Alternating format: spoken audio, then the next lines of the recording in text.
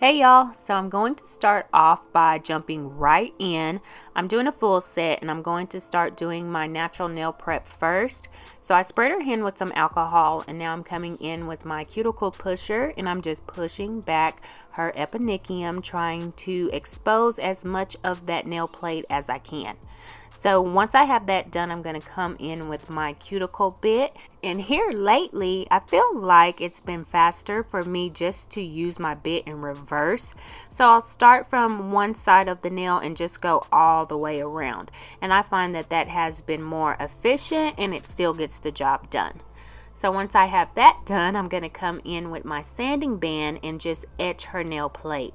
I'm not trying to even anything out. I'm just trying to remove shine and then get any leftover cuticle that is still attached to the nail plate. So once all my prep is done, I went in and applied her tips. These are C-curve tips. They're not any special type of brand. I just got them off of Amazon. And I didn't do a lot of shaping to them. I just made sure that by her natural sidewalls that it was all shaped correctly there. Then I went in and dehydrated and primed twice. Now I'm coming in with a nude color and I'm just going to do that whole nail this solid nude. Now this one is a self mix. I have been using self mixes pretty much on all of my sets here lately. I mixed up a whole bunch of my nudes. So that's why I have such an abundance amount of it and I'm going to use it, okay? I just recently bought some Mia Secret nudes and I remember back in the Gap I used to use them and I had one that I really really liked but I could not remember which one it was so I just bought like the variety little kit which comes with a whole bunch of different nudes and I'm gonna try them out to try to find that one that I like and, and pretty much just start stocking up on that. But back to this nail, I'm applying that nude. I applied my first bead, a medium sized bead, walked it down that tip, and I just made sure to keep the sides clean and to make it as smooth as I can. Now I'm coming in with my second bead and I'm just pointing her finger down. I'm placing that bead right there at the tip where her natural nail meets the tip to be exact. And then I'm just going to kind of push that product in walk it down a little bit and then blend it into my first bead. So now I'm coming in with my third bead and I'm going to place that right on top of that second bead. This one is just going to furthermore give me strength for my apex and I'm going to do the same thing, tuck it in, blend out the back of the bead and then once I have that done, I'm just going to tap it and walk it down and then I'm going to blend it through. And then my final bead is going to be my cuticle bead. I'm going to place that away from the cuticle and then push the bead up into that space. I don't want to end up flooding this, so I just gently tap, push it up into the cuticle area, and then just blend that bead down.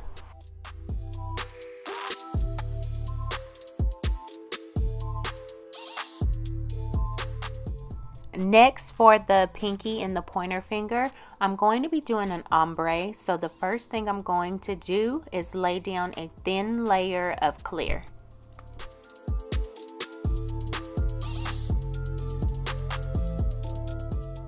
So for my ombre, I'm going to start off at the tip and I'm going to come in with a medium sized bead. Really not so big because I know that I'm going to end up having to encapsulate this. So I want my design to be thin. I do not want to make this nail thick at all. So I'm placing that bead at the center of the nail and then I'm just going to walk it down, make sure that all the sides, everything's smooth and a lot of what I'm saying is very repetitive, but it needs to be because I want you to get into the habit of doing the same thing over and over again. That's going to just make you work more efficiently and also it's going to be to where your nails look just like one clean full set. I don't know how many times I have said that if you do the same technique on all of your nails, your whole set is going to look good. You know what I'm saying?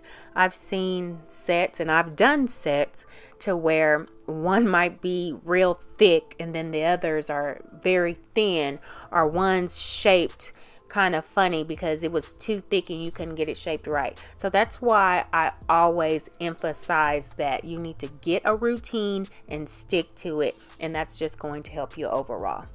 So now I'm going to complete this ombre. I'm going to come in with my nude color and I'm just going to walk this down and then blend.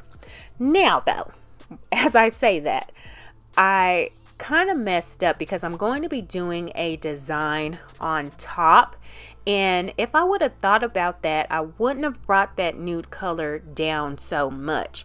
Now, my personal preference for ombres, I like to have the nude come down a lot further. So that's why I just did it like this. But you have to keep in mind what you're doing. So next time, if I'm going to do a design, I'll keep that in mind.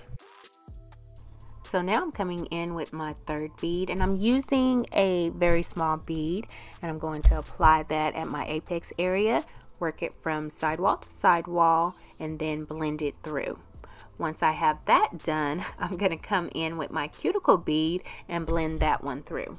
Now I'm keeping in mind that I pretty much have the back of this nail built up how I want it. So when I come in with my clear, I'm really going to just focus on covering up my fade. I want to make sure that I have that protected so when I come in and file, I'm not going to file any of that away. And also while I'm doing that, I just want to make sure that I'm not adding too much bulk at the back of that nail when it comes to that clear. So you want to be careful about that. So on the rest of these nails, like I told y'all, the pointer finger is also an ombre and then the rest of them is just the solid nude. So we're going to move right on to filing. I'm going to start by taking my hand file and I'm just going to file these into shape. We're going for tapered square and I'm going to show you guys a little bit, but it's so hard to get shaping as far as filming because the position just isn't right. But I'm going to start with my hand file and then once I finish with that and then I'm going to come in with my sanding band and smooth out the surface of the nail and then also flush out the cuticle area with that sanding band.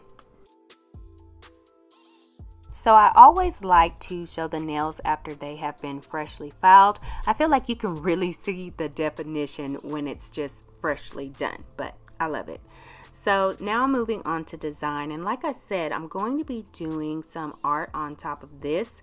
I'm pretty much going to be doing some crocodile print so I'm going to start off by just creating my outline first. I'm going to be doing that pretty much on most of these nails. So for the ring finger, I'm going to be doing a French. So I'm going to start by taking my striping brush and just starting on the sides of that nail and then just working my way in and then creating my little outline. Once I do that, I'm going to move on to the other nail and create my outline. And then once I have all of my outlines done, I'll go back in and fill them in. And as I'm filling this in, this is when I realized my ombre came down just a little bit too close to that tip.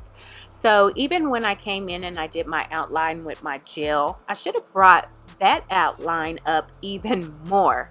So on the opposite hand, I do fix that. I make my outline um, to where you can also see the ombre underneath.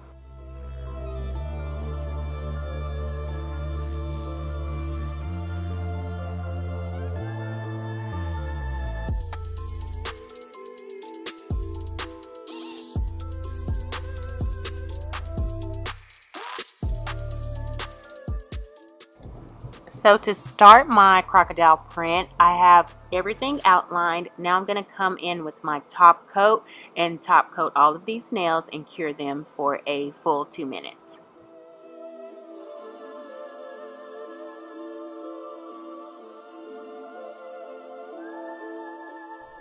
So I'm coming back and adding some glitter to those outline swirls. If I was thinking I would have done this before I top coated these, okay? It would have been a whole lot easier. So I'm just going to follow the outline and then I'm going to top coat these one more time.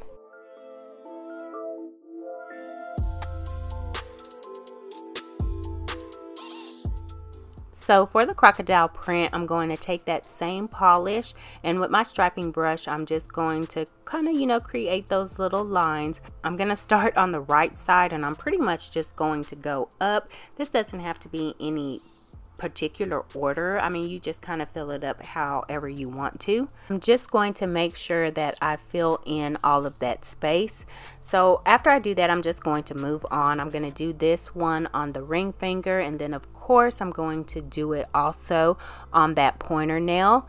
Now once I have all of these filled in, I'm not going to cure them. I'm going to come in with my clear powder and I'm just going to pour that powder over that uncured gel polish. And I like to be very heavy when I do this. I don't sprinkle just a little bit of that clear over that nail. I pour a whole bunch over that, okay? I want this to be nice and set into that gel polish. And then I also will cure this for two minutes, maybe even more. If I'm still working on the other hand, I will let this just cure as I do so. Now, as you can see, that middle finger, I went in and I applied a diamond. I'm going to be doing a sugar nail on the middle finger and then also on the thumb. But somehow I ended up not getting that footage. But that's what I did.